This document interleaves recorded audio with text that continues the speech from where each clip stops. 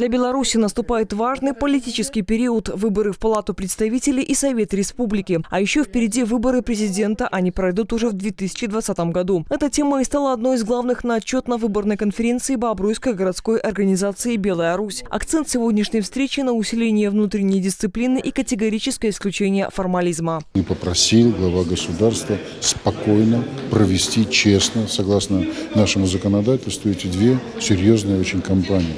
Поэтому Белая Русь готова к этому. У нас есть определенный опыт.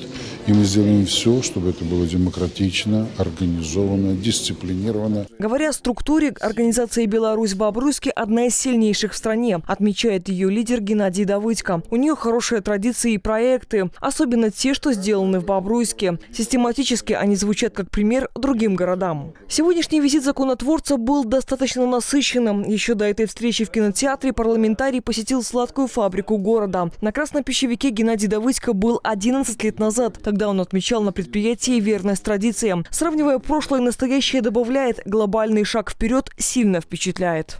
Проведена модернизация, открыты новые мощности, э, хорошее настроение в коллективе, в цехах. Я просто потрясен. Мне кажется, что на примере красного пищевика можно смотреть, что такое истинная модернизация что такое стремление в будущее. На встрече с коллективом красного пищевика Геннадий Давыдько обсудил с работниками и специалистами тему традиционного дня информирования. В повестке ключевые аспекты послания президента к белорусскому народу, демография, перепись населения и безопасность. Мария Бересневич, Елена Кутузова, Дмитрий Шевцов, Андрей Богдан, Бобруйск, 360.